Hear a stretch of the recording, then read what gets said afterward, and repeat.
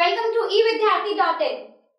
Now, before starting with the next topic, you should know atoms do not exist independently. That means atoms को combine करके survive करना ज़रूरी है. Otherwise, they don't, they are unstable. So, atoms form molecules and ions.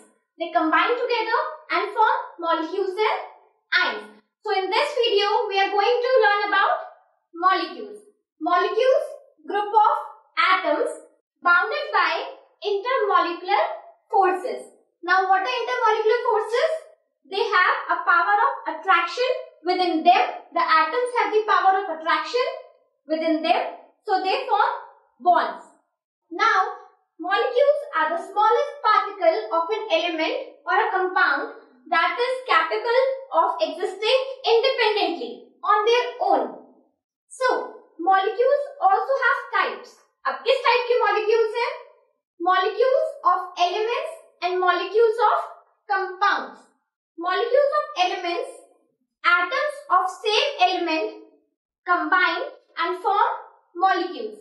How? For suppose helium.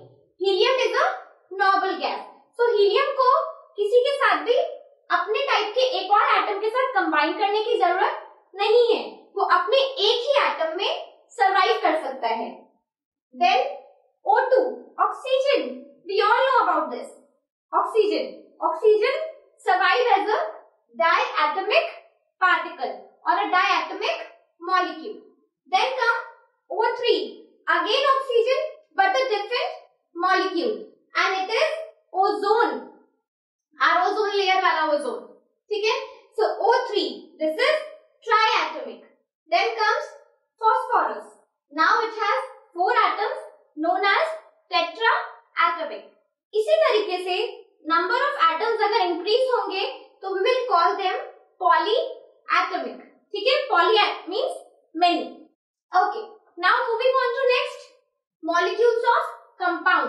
difference between elements and compound elements always consist of same type of atoms compounds always consist of different elements के atoms ठीक है atoms of different elements combine together and form compounds like H H2O water CO2 carbon dioxide abundance